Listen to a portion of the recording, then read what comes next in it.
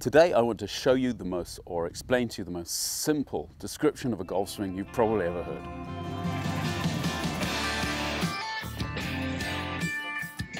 When children learn the game, they basically only need a decent example of a golf swing and then they'll copy it. Visually, children are able to watch a good golfer and imitate them.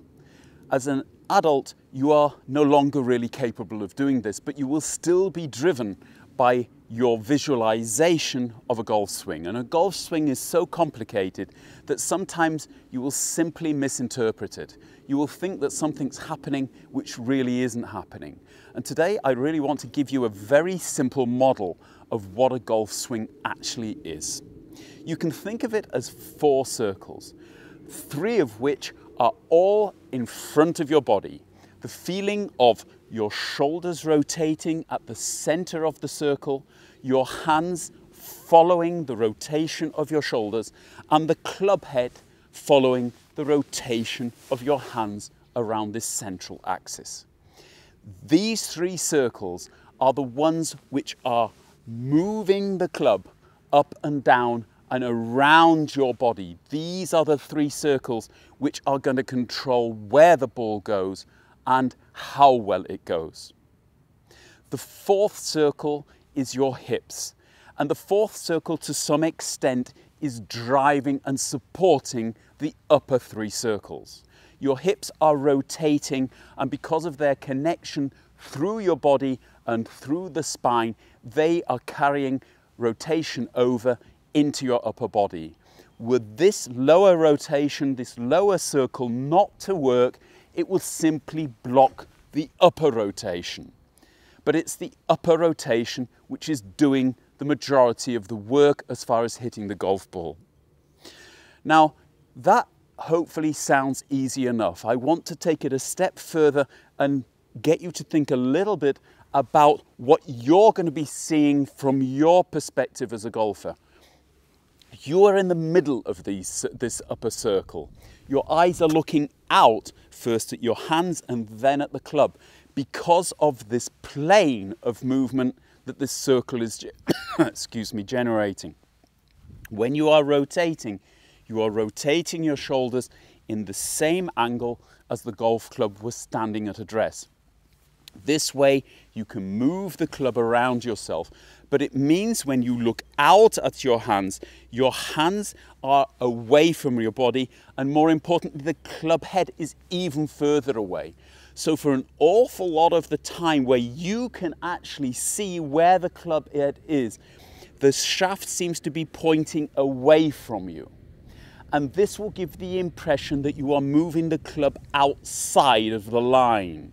From the the camera down the line, however, you'll be able to see if I put a ball on the ground here and say this is my ball to target line here. As I move the club away, I am looking out along the shaft. It looks to me visually as if it's outside the line, but the camera can confirm it's actually inside the line. This is a picture that you've also got to allow to happen in the downswing. Allow the club head to overtake your hands. Now, I'm not talking about flipping the wrist. I'm talking about a visual picture of the club seemingly being outside of the line from the downhill camera. But if you look at it relative to the golf ball, it's not as your hands have actually reached the golf ball and are moving back to the inside, the club head is still moving out towards the golf ball. And this picture is extremely important for you to be able to get the right movements into your swing. If you keep rotating your shoulders, this will happen automatically. However, if you see that this is happening and believe it to be wrong, then you will block your shoulder rotation and you will try and drop the club more on the inside. This is a picture that maybe a lot of you have actually seen in golf magazines. You think this is somewhere you want to be getting to. This picture actually means that the club head is coming far too much from the inside towards the ball. And it's a picture that a lot of people are trying to get to which you really should not be trying to do. Allowing the club head to release even in, before you get to the ball is necessary to keep the club head moving on its path through the ball. It's a contradiction of, of a lot of the pictures and understandings that you might have had about a golf swing and it's something that I wanted to tell you about before I go into putting the whole swing together. Putting the whole swing together is probably going to be a very boring video and, and also quite a long one. Understanding the sequence of movements, the steps you've got to go through to take the club back and swing it through the ball. But in order for you to do that correctly, I believe you've got to have a better understanding of how these three or four circles are actually working. The first three, the shoulders, the hands, and the club are moving around a tilted central axis through the golf ball. Your hips and your feet are driving the hips around, causing them to help and support the rotation of your shoulders, a little bit like a windmill. You've got the sails at the front and you've got the grinder at the bottom and they are connected over gears which are allowing a rotation in two different planes.